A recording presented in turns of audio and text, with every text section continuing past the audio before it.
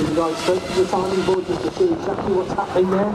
But number four just a few problems. George Spence getting himself uh, ready, just having a couple of adjustments. And the number eight machine, well, it says number eight, but I'm pretty sure that's not number eight because uh, Dave Moffat's already gone. Ah, number one that'll be then. Uh, that is uh, Michael Rutter on the other MotoCzysz machine. So it does look like number eight, but it is number one. I, Here's Michael Rutter, you can tell, it says Rutter on his. Antonio Maeso, Imperial College of London. Antonio comes to the front, there with number five. That'll be Ian Lougher on that machine. And doesn't that look well? That looks an absolute belter. Okay, go. George Spence away. He very rocket stab this lane. He does the other. Antonio Maeso has also got away. And here's Ian Lougher on the number five machine.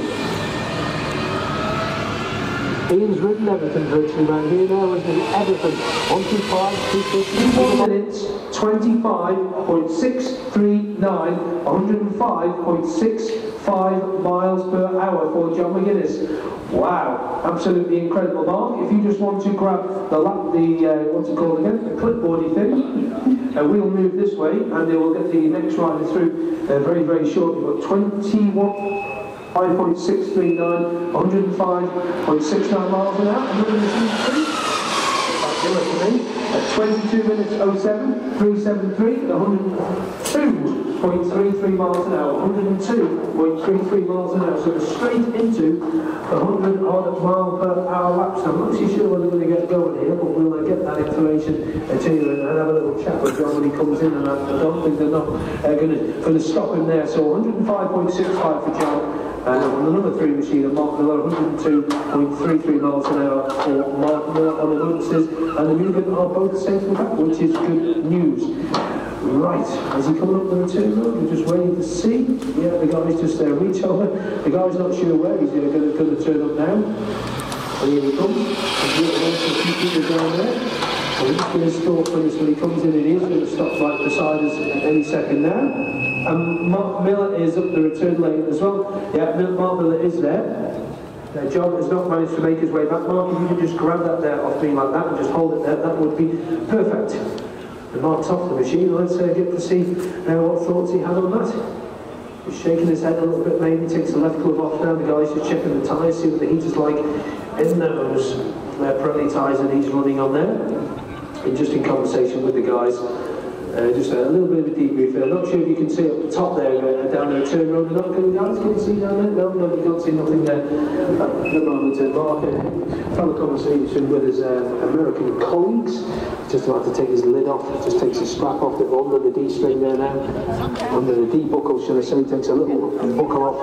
Just like the rear end, and a bit flapping around. So maybe they can make some adjustments to it. And then get themselves back out on track. Let's go in and jump inside, bud, and just have a word with with Mark and he's, uh, see how he is. Uh, John, John McGuinness is actually pushing the machine up the return road. You could have stopped and given John, John a push, Mark, couldn't you? no, I think him and the motorcycle combined is, you know, more than a car, so. 102 in a bit. Happy first off?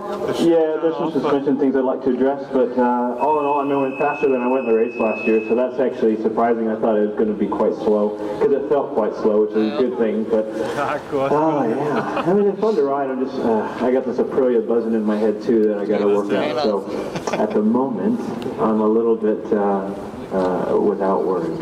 All right, okay, Mark, thanks for your time. Cheers, buddy, thank you. Look like Mark to be stuck without words, isn't it? So John McGuinness is uh, pushing the machine, Mark Miller, another machine. Yes, yes! From the crew up on the tower there, Robert Barber on the RW2 machine, 25, 41.681, 88.104 for Chris Barber there. But quickest, uh, Milky's running with the bike, my word. Poor John, he'd be absolutely all in after that. That's all he needs, isn't it? Obviously, right. So Rob Barber, 88.10. Michael Rutter, 104.63. Chris McGon, 77.51. Mark Miller, 102.33. But the quickest is John McGuinness, 105.65 miles an hour. Here is Chris McGowan in. He's ridden all sorts of machines around here, and now he's done the lot with the electric bike in. Looks like an R6 uh, chassis and running gear on that. And here is Michael Rutter in. And they're quite happy. Mark Miller and his teammate just complaining of suspension issues. And Richard has the bike. Oh, Milky, get a lit. Is this a return for Milky Quayle, do you think? Or? no, no, he says, not at all. He's Rob Barber in. He's waiting for John to come up the, the little road here now as well. There is Rob Barber in.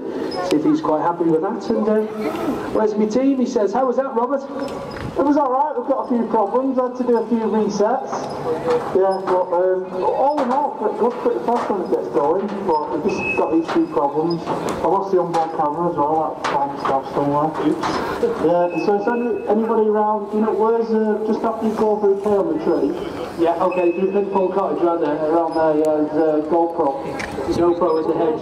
The, the college students done a real good job, it's a real fast bike and uh, all quite good. Is that them up on the grandstand up there that were, there was a load of guys cheering up there when you went across the line. I think they must have made a way down here. What, what was your, what was the lap speed again? What is it? Uh, 88.1. Well, that's pretty good. I've my quickest is 89. So I had to do five resets. I have to wait three seconds to switch the last switch. That's 15 seconds loss, and I worked it out. They had five times.